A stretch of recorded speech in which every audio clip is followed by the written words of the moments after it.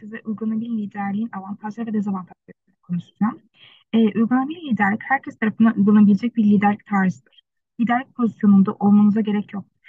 Karşılaştığınız zorluğa yenilikçi bir yaklaşım getirebilen herkes uygulayabileceği bir yöntemdir. Ee, geçmişte geleneksel yöntem ve araçlara hapsolmak yerine daha iyi yapmanın yeni yollarını aramaya başlar. İşverenlerin yaratıcı çözümler bulmalarına ve nihayetinde daha fazla sonuç elde etmelerine yardımcı olur. E, adaptif liderler çeşitliliğe odaklanır. Adaptif liderler birçok sesi duymayı e, tercih eder. İnsanlar farklı geçmişlerden, kültürlerden ve deneyimlerden geldiklerinde karşılaştıkları durumlara benzer, benzersiz bakışları sağlayabilirler. Daha fazla fiş, e, fikir hemen her birinde uzun vadede ve daha iyi sonuçlar eşittir. E, dezavantajlarına gelince bazı çalışanların görevlerine kaçınmasına neden olabilir. E, bazı çalışanların tutarlı bir şekilde sonuç üretebilmeleri için son derece yapılandırılmış bir ekip ortamına ihtiyaçları vardır. Uyarlanabilir liderler yapılandırma, yapılandırılmamış bir ortam yaratma eğilimindedir. Bu durumda bazı çalışanlar sürecin yaratıcı yönünü benimsemekten korktukları için görevlerini erteleyebilirler. Uyarlanabilir liderler bazen kuralları çiğner. Bazı liderler zahmetsiz bir şekilde karar vermeye odaklıdır. İşin otomatik taktikte olduğu sızsal bir ortam yaratırlar. E, bazen buna ihtiyaç duyulur. Çünkü sonuçların tutarlı olması gerekir. Uyarlanabilir liderlerin bir değişiklik yapma e, ihtiyacı hissettiklerinde bu kuralları çiğnemeleri daha olasıdır. Hızlı, otomatik kararlar yerine yavaş ve bilinçli bir yaklaşım benimserler. Bu yaklaşımda mantıklı ve stratejik olsalar da o anda işveren için mevcut olmayabil e, olmayabilecek bir zaman yapısı gerektirebilir. Teşekkürler dinlediğiniz için. Liderlik, belirsizliğin, karmaşıklığın hızlı değişimin olduğu çok çeşitli bağlamlarda ve durumlarda faydalı olabilir. Aşağıda konu başlığı, slaytta görülen konu başlıkları ile ilgili bazı örnekler ve açıklamalarda bulunacağım. İş dünyası alanında adaptif liderlik özellikle teknoloji endüstrisi veya ekonomik bozulma dönemi gibi günümüzün hızla değişen iş ortamında önemlidir. Adaptif liderler kuruluşlarının çevik, yenilikçi ve değişen müşteri ihtiyaçlarına ve piyasa koşullarına duyarlı kalmasına yardımcı olabilir. Kâr amacı gitmeyen kuruluşlar. Kâr amacı gitmeyen kuruluşlarda adaptif liderlik, kuruluşların değişen bağışçı önceliklerine yanıt vermesine, karmaşık yasal ve düzenleyici çerçevelerde gezinmesine ve değişen sosyal ve ekonomik koşullara uyum sağlamasına yardımcı olabilir. Bu kuruluş liderleri misyonlarını gerçekleştirmek ve yeni zorluklar karşısında etkin kalabilmek için yenilik yapabilmeli, işbirliği yapabilmeli ve değişen koşullara uyum sağlayabilmelilerdir. Eğitim Adaptif liderlik, öğretmenlerin ve okul yöneticilerinin değişen öğrenci ihtiyaçlarına yanıt vermelerine ve yeni teknolojilere ve öğretim yöntemlerine uyum sağlayabilmelerine, uyum sağlamalarına yardımcı olmak için eğitim bağlamlarında uygulanabilir. Sağlık hizmetleri. Sağlık hizmetlerine adaptif liderlik, liderlerin sağlık politikaları ve uygulamalarını sürekli değişen ortamda yönlendirmelerine ortaya çıkan sağlık krizlerine, örneğin pandemi gibi ve salgın hastalıklara yanıt ver, yanıt vermelerine yardımcı olabilir. Sağlık hizmetlerine adaptif liderler kaynakları harekete geçir, geçirebilmeli, farklı departmanlar ve kuruluşlar arasında işbirliği yapabilmeli ve değişen hasta ihtiyaç ve beklentilerine uyum sağlayabilmelilerdir. Hükümet Adaptif liderlik, hükümet yetkilileri tarafından değişen siyasi, ekonomik ve sosyal koşullara yanıt vere- vermek ve karmaşık kamu politikası sorunlarının ele, al- eline alınabilmesi için kullanılabilir. Yani kısacası adaptif liderlik, liderlerin belirsizlik ve e, belirsizlik, karmaşıklık ve değişimin üstesinden gelebilmeleri gereken her durumda geçerlidir. Ben de şimdi sizlere Adaptive Leadership'te e, nasıl daha fayda sağlayabiliriz? Hem uzaktan çalışırken hem de fiziksel olarak çalışırken bunlardan bahsedeceğim. Bunu sağlamanın birkaç farklı yolu var. İlk bahsetmek istediğim madde, madde flexibility. Flexibility için hem uzaktan çalışırken hem de belirsiz koşullarda karşı karşıya kaldığımız zaman uyarlanabilir olmak bizim için çok önemli. Çalışma düzenlemelerinde, programlarında ve problem çözme yaklaşımlarında esnekliği teşvik etmemiz gerekiyor. Bireylerin yenilikçi çözümler bulmaları ve yöntemlerin değişen koşullara göre ayarlamaları için de güçlendirme yapılması gerekir. Aynı şekilde bir diğer maddemiz collaboration and teamwork. Aynı zamanda trust'tan da bahsetmek istiyorum. Bunun için net iletişim kanalları oluşturmak, ekip üyeleri arasında açık diyaloğu teşvik etmek gerekir. Herkesin değer verildiğini hissettiğini sağladığı bir ortam içerisinde empati ve saygı e, daha çok vurgulanacak şekilde e, kapsayıcı bir yaklaşımla hem güven oluşturulması çok daha kolay olur hem de işbirliği için teşvik edilmiş olur.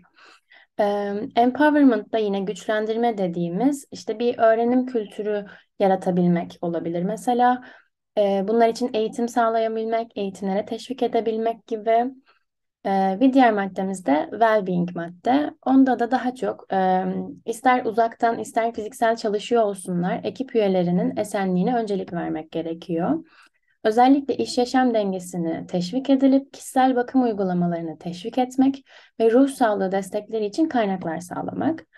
Ee, karşılaşabilecekleri zorlukları da ele alabilmek için ekip üyelerini düzenli olarak kontrol etmek gerekir. Ee, bu şekilde adaptive leadership'in sürekli bir süreç olduğunu unutmadan sürekli değerlendirme ve e, öğrenme ve uyum sağlamayı gerektirdiğini unutmamamız gerekiyor. Bu stratejileri uygulayarak ister e, remote olsun ister fiziksel olsun e, hem bireysel hem de kurumsal başarıyı pozitif üretken bir çalışma ortamını yaratarak sağlayabilmek daha mümkün. Bir diğer bahsetmek istediğim şey bu adaptive leadership'te becerilerini öğrenmelerine ve geliş, geliş, geliştirmelerine yardımcı olabilecek çeşitli kaynaklar var. İşte slaytta da bahsettiğimiz gibi kitaplar, online kurslar, konferans ve workshoplar, consulting services'lar, bir de case study'ler. Öncelikle kitaplardan birkaç tane örnek vermek istiyorum. Ronald Hayfetz ve Marty Linsky'nin e, Hattaki Liderlik, Değişimin Tehlikeleri Boyunca Hayatta Kalmak isimli kitabı. Bu kitap e, Adaptive Leadership konusundaki en geniş çaplı tanınan kaynaklardan biri değişim ve belirsizlik zamanlarında etkili bir şekilde liderlik etmek için e, pratik araçlar sağlıyor. Aynı şekilde yine Ronald'ın ve Martin'in Alexander Grashov'la yaptığı başka bir kitap daha var. Bu kitapta uyarlanabilir liderlik uygulamalarından bahsediyor.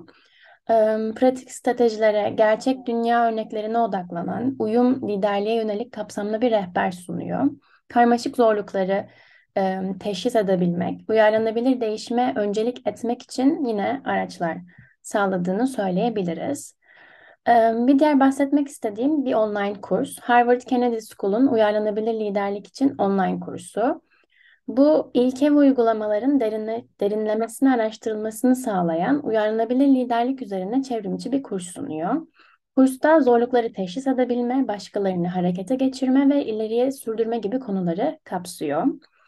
Ee, yine bir programdan daha bahsetmek istiyorum son olarak. Bu da e, Yaratıcı Liderlik Merkezi'nin, CCL'in uyarlanabilir liderlik programı.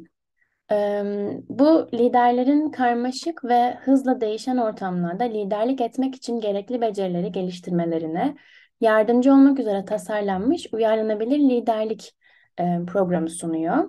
Bu programda uyarlanabilir liderlik yeteneklerini geliştirmek için hem deneysel öğrenime hem de geri bildirime ve koçluğa hepsini birlikte birleştirerek güzel bir deneyim sunuyor.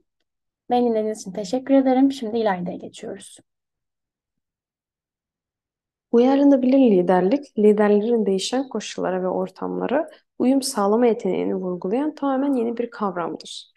Uyumsal liderlikte başarılı şirketlere ve popüler uzmanlara bazı örnekler vardır. İlk olarak, ilk olarak e, şirketlere bakacağız. Birincisi International Business Machines Corporation, IBM. İBM sektördeki ve pazardaki değişikliklere uyum sağlayarak yıllar içinde önemli dönüşümlere, dönüşümler geçen bir teknoloji şirketidir aslında. Uyarlanabilir liderlik yaklaşımları ilgili ve başarılı olmalarını sağladı. Ee, mesela e, IBM genel olarak hard disk, barcode, SQL tarzı şeyleri e, piyasaya sürdü. O yüzden de uyarlanabilir liderlik konusunda önde giden şirketlerden bir tanesidir aslında bakarsak. İkincisi General Electric, GE.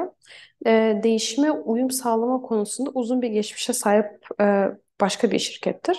Yeniliğe yeniliği benimseme, sürekli öğrenme ve müşteri ihtiyaçlarına odaklanma gibi uyarlanabilir liderlik ilkelerini uygulamıştır. Üçüncü olarak da Harvard Business School, HBS, HBC, e, uyarlanabilir liderliği iş liderleri için kritik bir beceri olarak öğreten önde gelen bir kurumdur aslında. E, konuyla ilgili kurslar, seminerler ve yayınlar sunarlar. Ve birçok başarılı lider e, Harvard Business School'dan aslında eğitim almıştır. E, ikinci olarak ise Adaptive Leadership'te, uyanabilir liderlikte önde giden isimlerden bahsetmek isterim. Birincisi Satya e, Nadella.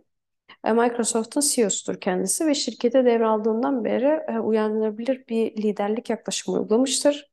İnovasyon ve işbirliğine duyulan ihtiyacı vurguladı ve liderliği Microsoft'un teknoloji endüstrisinde baskın bir güç olarak kalmasına yardımcı oldu. E, ikincisi ise Reed Hastings. E, Reed Hastings Netflix'in kurucu ortağıdır ve CEO'sudur ve şirketin hızla değişen bir pazarda yenilik yapmasına ve başarılı olmasına olanak tanıyan uyanabilir bir liderlik yaklaşımı uygulamaktan da tanınır. Bizi dinlediğiniz için teşekkür ederiz.